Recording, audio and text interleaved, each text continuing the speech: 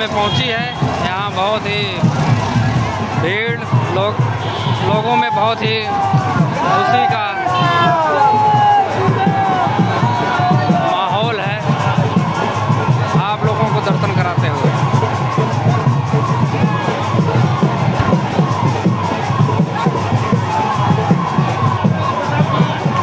Police प्रशासन का सभी लोग सम्मान भी कर रहे हैं।